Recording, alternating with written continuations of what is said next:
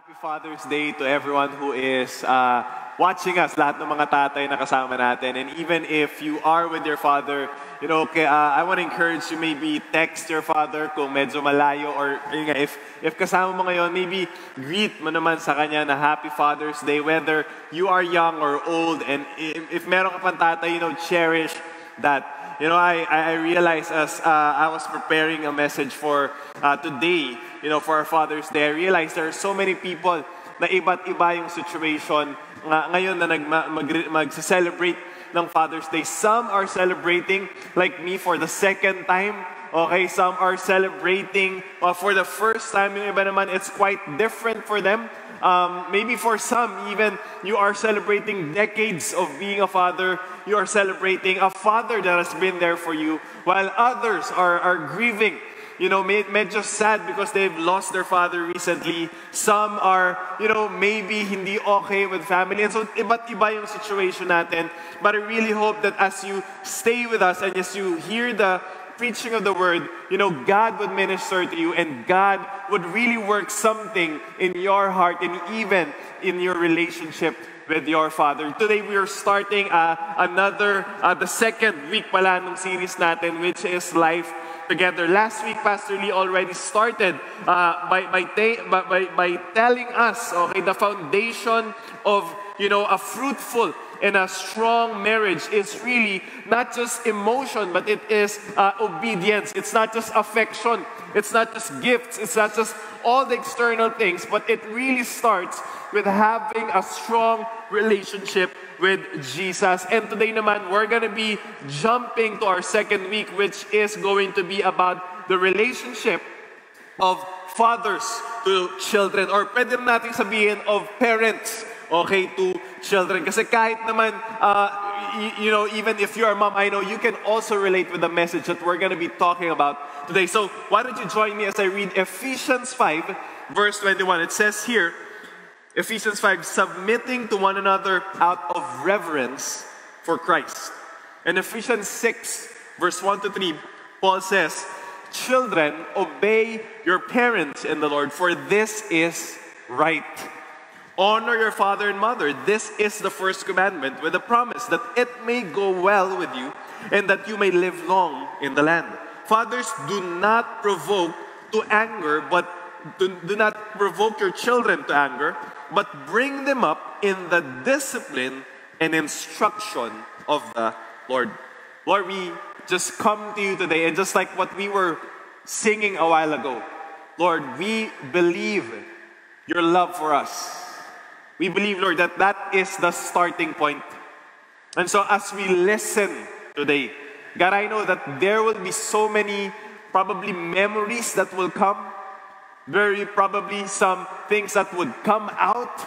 But Lord, Father, we, we pray today that we would hear from you and that we would receive, Lord, the life that you are willing to give to us, the love that we need so that we can love our children and that we can also, and, and, and even the children can also love their parents. Lord, we need you because without you, Lord, all of this is nothing.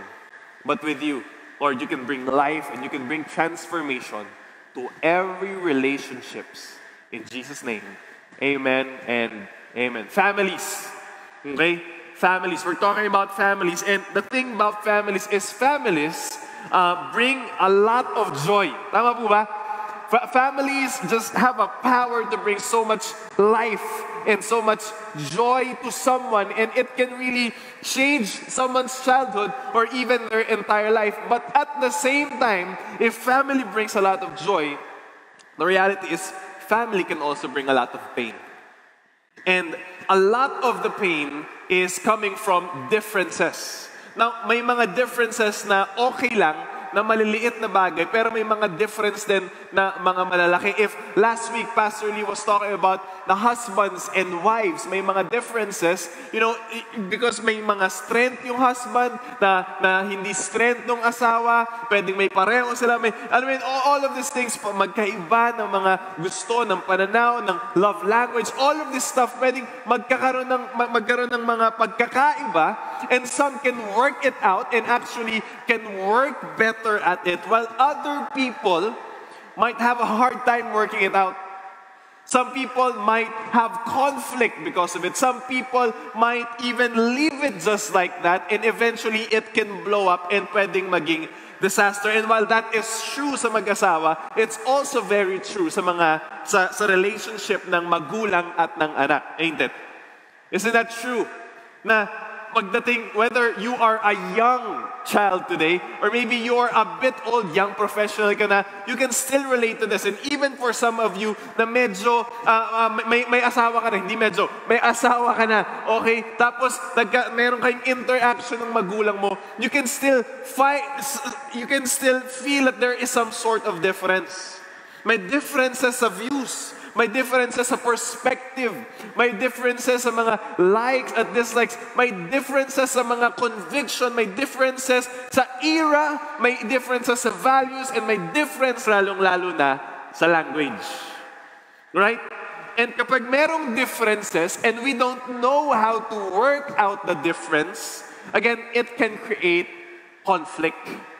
At mahirap kapag merong conflict.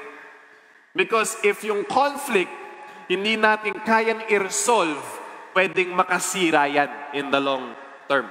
Like, ano ba yung mga case? For example, let me give you a few ideas of ano ba yung mga areas na nagkakaroon tayo ng mga conflict. For example, money. Yung iba, yung, yung, yung anak, gusto pa, dito ako mag spend ng money while for some naman sa magulang, di ba, anak, pwede ko ba itago muna? Matas na. Pag na, ma, nasa na yung pinatago ko, ay, ano, ano, ano pinatago diba? Nagkakaroon ng mga away-away. Curfew. Grabe, ang strict naman ni daddy. Ano strict? May, ako nga, nung, nung bata nga ako, oh, nasa is pa lang, nasa bahay na, diba? Nagkaka, may, may pagkakaiba. Interest and hobbies. Anak, pwede bang you are into uh, fencing? Uh, daddy, hindi ako mas sports eh. Alam mo sa pamilya natin, may, may mga ganyang differences. Diet, yung nanay mo nagkito bigla, ikaw ma, gusto mo sangyup, di ba? Medyo ma, ma, nagkakaiba grades, pets, fashion, yung yung yung before ma, ma, okay na okay 'di ba yung yung mga uh, elephant pants tas ngayon parang hindi na. Gusto mo medyo bitin na samantalang dati pag bitin parang may mali ba sa pantalon mo? Gadget news, agawan sa remote, sa internet, sa wifi, spending habits um, chores, room cleaning, all of these areas, relationships, belief, displays of affection, all of this pwedeng magkaroon ng mga difference and it can create a sort of conflict. Now, here's the thing, that can get ugly with words, with cold uh, treatment. That's why if hindi tayo again marunong mag-handle ng conflict between parents, between fathers and children, doon na papasok yung mga senaryo na yung, yung, yung anak ayaw nang i-honor yung nanay o yung tatay. Ayaw nang makinig. Ayaw na magbigay ng oras, ayaw na maniwala, ayaw na matuto. Yun, yun, yun, diyan na pumapasok yung, yung space, nagiging wider. Dati lagi kayong okay, pero ngayon medyo nagkakaroon na ng gap. Tapos eventually, the communication gets thinner. Kumain ka na ba? Oh, fine ako. And it's all because nangyari kasi nung grade 5 pa, ito yung ginawa mo, pero hindi ka nag-sorry. All of those things can destroy our relationships and even the parent side. If they don't know how to take that, if we don't know, including me, we might take that as rebellion. And we might react in a way na kahit na okay yung puso natin, we might react in a way that is very negative and not appropriate therefore adding more harm to the relationships. Now here's the thing, for some of us, we might say, eh, normal lang naman sa pamilya na magkaroon ng problema. Which is, by the way, which is true. I, I, I do agree na, you know, kumbaga sa mag-asawa, nagkakaroon ng mga problema. Sa pamilya, normal yan. Tao tayo eh. But here's the thing though, while problems are normal, I want you to make note of it, dysfunctions are not. Are you with me? Problems are normal, but dysfunctions are not. Broken families is not part of God's design. Estranged families, families that are at war, unreconciled. I believe that is not the design of God. That's why first of all, I want us to know this that God had a good design and has a good design in mind for families. When God thought of families, He thought about it in a glorious way. You know, the, the, the, the design of God when it comes to family is not dysfunction. It's not disaster. It's not trauma. It's not error. It's not drama. It's not to add burden. Hindi po ganun yung plano ng Panginoon sa mga pamilya. I know, ang dami nangyayaring ganun, pero hindi po ganun yung plano ng Panginoon. Yung, pang, yung plano po ng Panginoon natin is good. It's a design that is meant to bless, and it's a design that is meant to also build up. But in order for that to happen, we need to keep in mind a few things. We need to have the right designer, okay? Or the one who really thought of the foundation of a family. We need that person to step in, which is God, and we need his blueprint for families. That's why Paul writes to the church because he knows yung church na kinakausap niya sa Ephesus is a group of mixed people. May mga children, may mga parents. He's not just talking to one specific age group, but he is talking to a diverse group. And he starts by saying this in Ephesians 4, sabi niya, now I now this I say and testify in the Lord that you must no longer walk as the Gentiles do in the futility of their minds. Sinabi muna ni, ni, ni Paul, there is a way that seems right to the world. Meron parang, ay, it makes sense na ganun, magbigay lang ng pera, ay, ganito lang, mag, maging, mag, mag, uh, uh, just nandun ka lang sa mga graduation, ay, ganito lang. But, but Paul is saying, it might seem famous, pinapalakpakan, norm, but it doesn't mean that's what God had planned for you. Kaya sabi niya, don't walk in the way of a person that does not believe in God, but rather, sabi niya in, the, in, this, in, the, in this next verse, but rather go back to God. They're darkened in their understanding, alienated from the life of God because of their ignorance that is in them due to the hardness of heart. Sinasabi niya dito, kailangan natin ng bagong puso. Hindi magfo-flourish ang pamilya kung lahat matigas yung puso. Kasi kung matigas yung puso, eventually tumitigas yung ulo. At kapag matigas yung ulo ng mga nasa pamilya, laging nagkakaroon ng gulo at away. That's why, sabi niya, kailangan mo ng bagong puso. Kailangan natin itong lahat. Moving forward to verse 22 and 24, put off your old self and then put on the new. Huwag, nating dalhin sa mga pamilya natin yung dati nating mga nakasanayan, yung dating buhay natin na puro pride, full of self, puro reputation, puro ideology na kung sino-sino at kung ano-ano, but be rather renewed in the spirit of your minds. Put on your new self, created after who? Sabi dito, created after the likeness of God. In truth, in true righteousness and holiness. So, bago tayo pumunta doon sa mas, alam mo yun, yung mas, yung diretsyo na ng mga instruction, Paul is laying down the foundation first. Pag binasa mo yung book of Ephesians, yun yung unang hati niya. The first three to four chapters talks about the gospel first.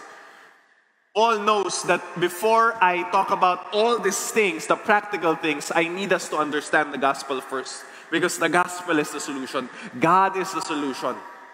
Because it's not, we're not just talking about habits externally, we're talking about something deep within that needs to be renewed and changed.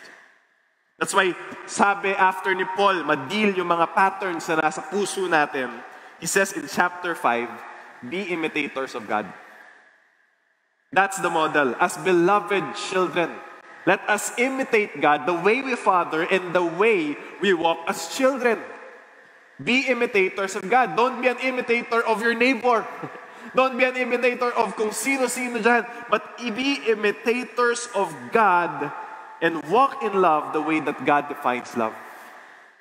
For at one time you were in darkness, tapos paulit-ulit yung sinasabi to, walk in as children of light. Look carefully how you walk, not as unwise. Sinasabi niya, because this is who you are now that you are in Jesus.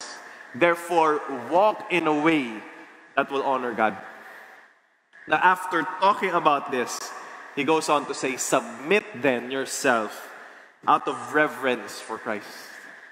because you know how much God loves you, how much Jesus loves you, submit yourself to Him. And then He goes on now to say, ano ngayon yung design, ano yung itsura. And let me be very practical on this part. And let me start by saying both father and children need to be submitted to God. That is the starting point. Hindi lang po yung mga anak natin yung kailangan ng Panginoon. But let us be honest, we also need it as parents. Our parents doesn't need just a fathering. But as fathers, we need fathering as well. We need God to step in the pictures of our lives into our, our, our messy hearts so we can know what is right. So when we go back to our children, we can also do what is right. I know this because as much as I'm fathering my daughter, as much as I'm praying na Lord, palakin mo siya in the right way, I also feel, Lord, I need what I'm teaching my daughter.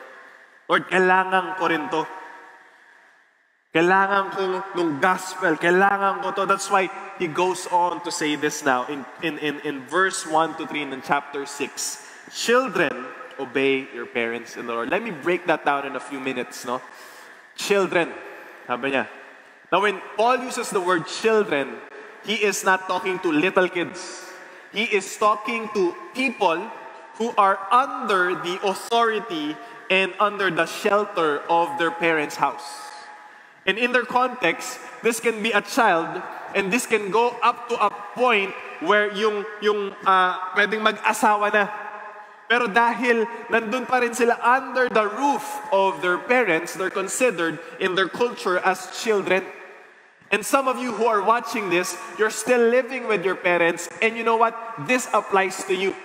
But for some of you, you are outside na ng, sa, sa, sa uh, shelter nung, and provision ng magulang nyo. You know what? It might be different, but don't check out because there's still something here for you. Okay?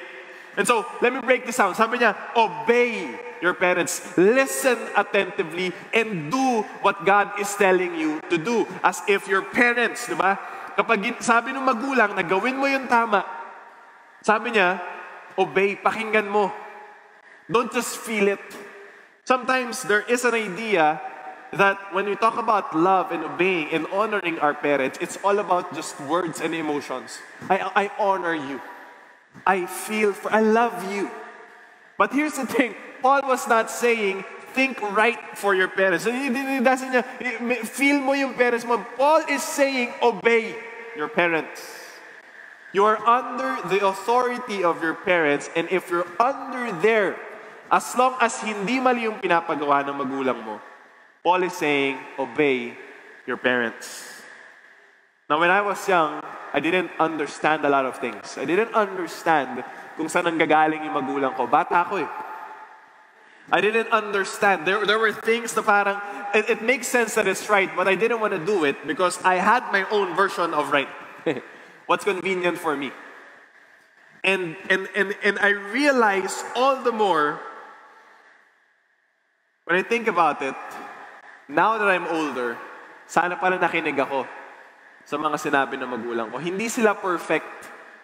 But now I realize, tama yung sinasabi nila. It wasn't for their good only, but it was really for my good. And I know as you're listening to this, sana ganun lahat ng magulang. But I do believe every, at some point, there, in, in, in a parent that is in the right minds, eh, they might not be perfect in their actions. But again, they're coming from a heart of care, of love, of genuine concern. And Paul is saying, obey your parents because it is right. Now, for some of us, minsan, madaling sundin yung pastor. Pero hindi yung tatay ko. Madaling sundin yung kapitbahay. Madaling sundin yung sabi ng celebrity na to. Pero minsan, ayaw nating sundin yung magulang natin. When the reality is, when something hits your life, it's your parents that's always there for you. Kapag nagka-loko-loko na yung buhay mo, kanina ka tumatakbo. Marami mga instances, tumatakbo ka kung kani-kanino tapos pababayaan ka lang. Pero dun sa magulang mo, yun talaga yung may pagmamahal na labis-labis sa'yo. Obey your parents in the Lord. This pertains to actions. Some of you today, I want to ask you that question. You know, what is God calling you to do today to obey your parents? Because I want to encourage you, children, express your love for God by obeying and honoring your parents. And the parents say, Amen. Tama, di ba? Now, yung mga yung mga parents, wait ka lang. Okay, mamaya. Okay, pag-uusapan natin yung side mo. And sa mga sa mga children, huwag kayo mag-alala. Okay, may side yung mga parents. But really, let's express our love towards God in a way that honors our parents. That's the great that's the that's the thing that's confusing nowadays for some people because they'll say, I love God. But when it comes to their family, it doesn't really even reflect the way they treat their parents. They treat them like trash, like disposable relationships. I want, and I want us to know that God, wala, wala pong hati na mag-serve ka sa church, pero pabayaan mo yung pamilya mo. What God wants is for our relationship with Him to affect our relationship with our fathers and our mothers. Sabi ni Paul, obey them in the Lord because this is pleasing to the Lord. You do it hindi para makahirit sa magulang. How many of you ginagawa niyon? you obey your parents because meron kang darating na order ng Lazada o Shopee. Di ba? You, you do it because you're gonna get something out of it. But here, Paul is saying you do it because you're doing it for the Lord. See, when I think about obedience, obedience is a huge distraction. diba? If you're gonna obey something, lalo na you are in the middle of a game, you are in the zone, you are in the, alam mo yun, you are in the heat of the moment. Tapos sinabi nung anak, nung, nung magulang mo, anak, magwalis ka naman. Maghugas, parang, Bad trip. Inconvenient siya. Eh, because you were looking at something else and then someone comes else which is someone someone else comes in which is your parents and says, "Anak, pwede mo bang gawin to?" And in your mind, ma, this is my life. Pa, meron akong gustong gawin. Pero that's the thing. When you're walking in God, it's not about you anymore. It's about what is pleasing to God. I like the other word that Paul uses. Sabi niya, uh, do it, obey, and honor. Honor is a matter of, of attitude. Yung iba kasi nag-o-obey pero nagdadabog. Ano ba naman yan? Bira naman dito. Patulong ba ka dito? Di ba yung, yung attitude ng puso natin, concerned din ni God yan. God wants to have, to ha- for us to have a joyful heart regarding our parents. Sabi niya, do it because this is right. Do it not because it's convenient, but do it, obey and honor your parents because, you know, it's right. I remember when, when I was young, you know, may mga kaibigan tayong nambubuyo. Di ba? Tol, nanay ko, nag-aaway na naman kami. Tatay ko, grabe. Di ba? Tapos ano sasabihin ng mga tropa mo minsan? KJ, yung mga magulang, wag mo sundin. Gawin mo yung gusto mo. Ano ba yung feel mo? Ito, gusto pare. Yan, yan, gawin mo. Ikaw yung masusunod sa buhay mo. Ikaw yung tama. But now I realize it. I was young. And I didn't know the value of my relationship with my parents. That it's a gift. It's a gift that I can never replace with anything. Amen? And so, kahit na hindi ka palakpakan ng mundo, I want to encourage you, do what is right before God. Kita man ng mga kaibigan mo or whatever, do it. Okay? It is right not because I said it's right, it's right because God says it's right. Now, the last thing when it comes to children, there is a promise that God wants for you. Now, yung promise na to, it's not a promise na kapag sinunod mo yung magulang mo habang buhay, guess what? Y- y- hindi ka natatanda uh, guess what? Meron ka ng fountain of youth. Hindi po ganun yung sinasabi dito ni Paul. But what he's trying to say, if you think about it, if you live a life na harmonious yung relationship mo sa magulang mo, can you just think of the stress na mawawala? Can you just think of the joy that comes in. Can you just think of the security, the, the, the, the, um, the peace that can come, right?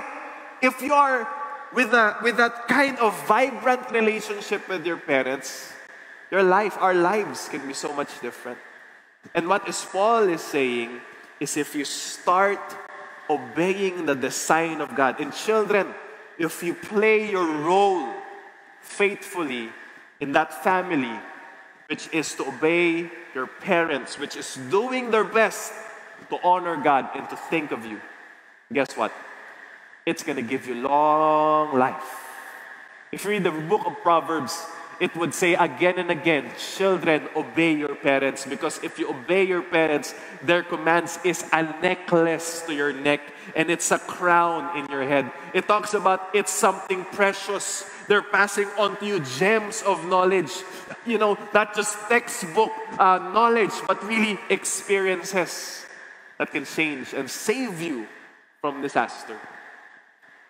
That's what I love about my parents. And that's why I honor you, ma, pa. If you're listening to this, I honor you. Because though hindi perfect yung buhay ko, really, you made a way. And God helped me to really obey you.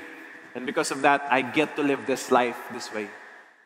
But here's the thing, it doesn't end with children. Of course, meron din part yung magulang.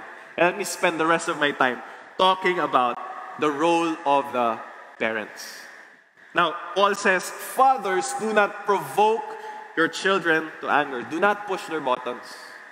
Do not be so personal to them that it, it, it invades their privacy, that you are out of line. But then again, sabi ni Paul, know your role. What is your role in the kingdom of God? What is your role in the family that God has, that, that God has positioned you in? You see, sometimes, if you think about it, as a father right now, mas madali pong mga asar, mas madali pong mang provoke. Mas natural, mas normal mga asar ng anak. Kasi nakakatuwang mga asar eh. But there are so many times that I realize, James, that's not your role. Inaagawan mo yung inaagawan mo ng role yung enemy. Ikaw pa yung kumukuha ng role. You know? So, that's not your role. Your role as a father is to nurture your children. You know, in the same way that the parents, uh, the child is supposed to express their love towards God through honoring and obeying their parents. You know, fathers, I want to encourage you, and even parents who are watching this, express your love for God by discipling your children towards God. Disciple them. Don't leave that to the church. There are campus missionaries, there are pastors, there are staff, there's victory group leaders that can help you, but it's your primary role to disciple your children. They always say this ministry starts at home. And I believe, you know, that's something that, that I have really learned from the leaders. They would always say, My first victory group is my children. It's not this group of people, it's my children because sila yung nasa pamamahay ko. Fathers, I want to talk to you right now and I want to remind you this is your calling. This is your, a privilege God has given you. Don't give it to someone else. Don't give it to the TV. Don't give it to social media. Don't give it, don't delegate the role of being a father because that is a role that God has given you. Eh bakit yung, ibang, yung ibang ka-opisina ko ganito lang, huwag mo isipin yun. Isipin mo ano yung pinapagawa sa'yo ng Panginoon. Because that is what would matter for eternity. You know, if you would try to capture what Paul was trying to say to the fathers, Paul was saying, nurture. That's your role to nurture your child. Your child is like a seed. And your role there is to water it. Your role is sometimes to plow the ground. Your role is, is to play an active role. If needed ng shade, if needed ng protection ng seed, that's your role. It's a heavy role. It's a role that you're going to be committing your whole life to, but it's a role that if you do it right, it will be the greatest joy for your life. If you think about it, the uh, Psalms, Psalms tell us that a child is like an arrow. But before a, but before an arrow, it is just a simple wood. And so, yung role ngayon ng tatay is to come into the picture. And here's the first thing that Paul mentions. You're supposed to discipline. Okay? You're supposed to give tough love. Not breaking, not violence, but tough love. Because the, yung nakikita mo dun sa wood, hindi nakikita ng mundo. Yung nakikita ng mundo is yung kahoy na yon, pwedeng ipangpatong lang sa kung saan-saan. Pwedeng ipangkalso lang sa kung saan-saan. But as a father, you know the potential of that wood. And you know that someday, this wood, if you would refine it right, if you would give the right love, if you would give the toughness that it needs, then what it will become is it will become an arrow. And someday, if you pull it hard, you're gonna have to let it go. And when it hits the target, you're confident that your child is not just a wood falling to the ground, but it's an arrow hitting its destiny. That's our role. Our role as fathers is to discipline. Hindi po yan disciplinarian na puro, ah, cold. Hindi, dapat ito yung, ito yung batas. Hindi din po yan li, libertarian as well. Na parang binibigyan mo lang ng liberty. Express yourself. Huwag mong paluin. What do you, Paul is saying, if you go back to the description of the Bible, what, what, what discipline is, discipline is love. If you care, you discipline. I discipline my child not because I hate her, not because I want to lash out on her, not because she's inconvenient, but I discipline her because I know someday, anak, mawawala ako sa picture. At pag nawala ako sa picture, I want you to continue soaring. I want you to continue to do what God has called you to do. And when's the best time to prepare her for that? Not five years, not 10 years, not when she's older, but today. That's your role. That is our role as fathers. It's a calling, again. It's a calling that God is willing to empower us, to help us. Last but not the least is instruct them. Now, here's the thing, okay? When it comes to instruction, now, ito yung nakaka, nakakapagod at times. Kasi papaulit-ulitin mo eh. Okay? But yung ibig sabihin ng instruction is counseling, it's warning, it's giving guidance. Ibig sabihin po nito, yung picture po nito is when you speak to your child, you listen to them. You don't compare yourself to them. Minsan may, may, may mga ganyan tayo eh. Anak, ako, ako, gayahin mo ko. Eh, eh, eh, no, no, no, no. There's a time for that. But there's also a time for instruction. Instruction, not bragging, not boasting, not trying to, uh, anong tawag nito, force something, but instructing them. Instructing them to do what is right. Instructing them what will honor God. Now, that's a lot of work if you imagine, if you think about it. That's inconvenient. Yung anak ko po, minsan sasabihin niya, Daddy, sit. Kasi naglalaro siya ng Lego. At minsan, meron pong, yung mga Lego, meron niya mga instruction eh. And sometimes, I would tell her, Anak, dapat ilagay mo to, kasi pag nilagay mo, magbi-build up, tas ang ganda, magiging ganto, ganto yung itsura. Sabi niya, no, daddy. This, play this, daddy. Sirain niya. And how many of you would know, sometimes that's gonna take a lot of, anak, anak, wait lang, anak, merong design eh. Anak, magtiwala ka, anak. Kailangan po ng patience nun. Kailangan ko pong mag-instruct. Hindi ko po kailangan, anak, alam mo, huwag ka na maglaro, ako nagagawa. Hindi po ganun yung role ng tatay. The role of the father is to instruct. And the fruit of this, when you instruct your child, is you will strengthen your family. You would bless your children. And not just that, but you will build generations generations of women who knows what is right. Generations of men who are going to stand up and stake their lives for what is right. It starts with fathers doing an active role, not delegating or abdicating the role, but embracing their God given call to honor Him. Now, as I wrap this up, can you just imagine a society like that? Can you imagine a society na buo yung mga pamilya? That's, that's a dream. And I was thinking about that, just can you just imagine, wow, growing up with a father that I can call, that I can talk to, that I have no fear. But I, I, am growing up with my father, and, and, and I have a child that meron kaming relationship, and I'm there to see her thrive, to see her grow, to see her or him, you know, to just to, that, that, that, that would make an impact in society. That's gonna change our economy. We're gonna have businessmen doing what is right, not fearing what people will say. Whatever it is, because meron silang integridad. Kasi nakita ko kay daddy at mommy.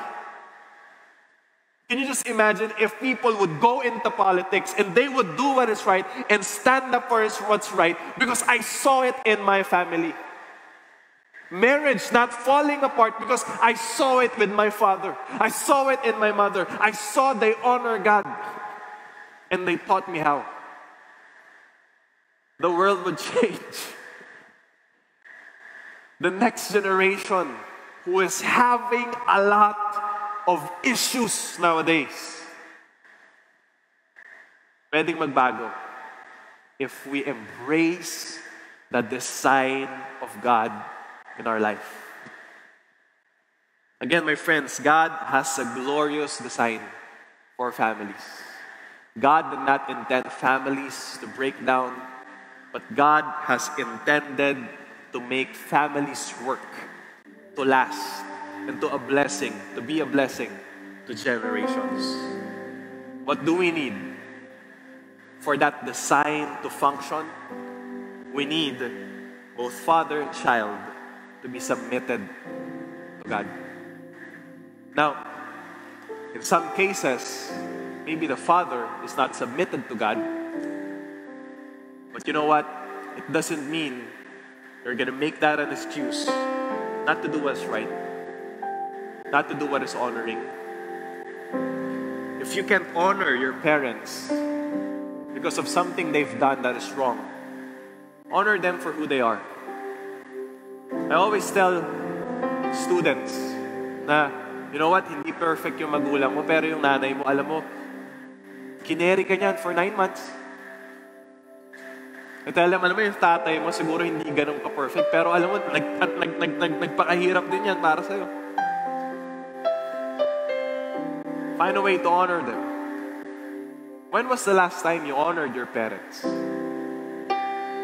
Some of you, when is the last when was the last time that you you you obeyed your parents? Fathers, when was the last time that you disciplined your child out of love? That you said, Anak, I see a future in you, but it cannot be, it cannot happen if you're going to operate your life this way. When was the last time that you instructed your parent, your, your, your child? My friends, if we fear na if we discipline and we instruct ang KJ natin, it's because our relationship with them is not deep enough. But if we know that they know that we care and we love them, to discipline them and to instruct them, hindi sila mahihirapan. Hindi sila magugulahan na akala ko ba mahal hindi. For them, may intindihan nila, ay grabe, ginagawa to ni daddy kasi mahal niya, mahal niya ako. When you go back to God and God disciplines you, it's painful at times, but you know, Lord, it's just because you have the best in mind for me. That's why the best way to learn how to be a father is to be reconciled to the Father. And the best way to know how to be a son is to follow the Son, which is Jesus. If you look at their life, and this is the last thing that I want to say before we wrap this up. Jesus obeyed his Father. And Jesus would always say, I do what my Father tells me to do, what I saw my Father do. Jesus showed us that this is how it's supposed to work. And at the same time, we see that the Father was there to instruct Jesus, to guide His Son. And we see how perfect that relationship was. And that relationship was broken when sin, when He was on the cross and Jesus took our sin. And Jesus said, Why are you forsaken? What destroys families is sin. But what reconciles families is the love of God. Because God's love is powerful enough to wipe away every fear. It allows us to be freed from condemnation, from sin, and from guilt. I want us to bow down our heads right now. Father, we lay down our pride right now. Lord, if some of us are watching and hindi okay yung relationship namin with our Father, or maybe kaming anak sa magulang namin, or maybe yung magulang sa anak, either way, Lord, reveal to us or the problem and what can we do about it? And Lord, if it's asking for forgiveness, if it's initiating a conversation, God give us the courage and the faith to go and step out and obey what you're telling us to do. Lord, we know that you have the best in mind for us.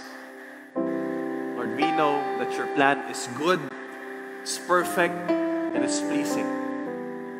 And may it be that in our obedience, the world will see that you are God, that you are a covenant keeping God, that you are a faithful God who will not leave us ashamed. God, maraming maraming salamat. Because yung plano mo sa mga pamilya namin is hindi para masira to at mabuwag. Ang plano mo is lumakas yung pamilya namin, tumibay at maging blessing sa kapitbahay, sa mga pamilya, at sa kung saan-saan pa. Lord, we thank you. In Jesus' name.